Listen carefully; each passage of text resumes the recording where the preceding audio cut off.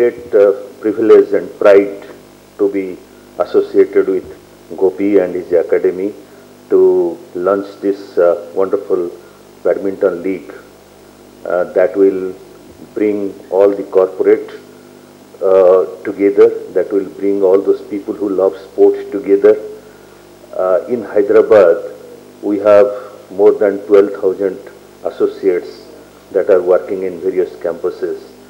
and we have got a location council in which we uh, encourage our associates in sports and wellness activities. We strongly believe as a corporate that work-life balance is very, very important for us to grow and prosper as an organization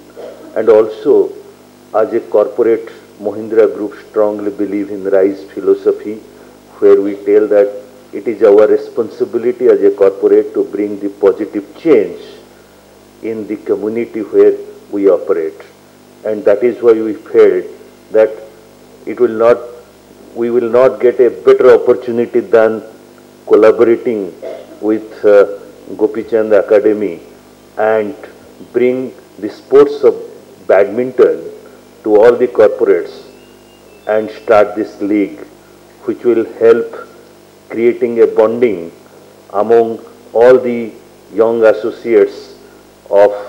all the corporates pan India. So I wish all the best to my team and I wish all the best to our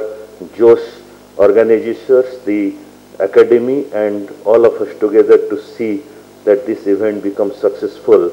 and everybody enjoy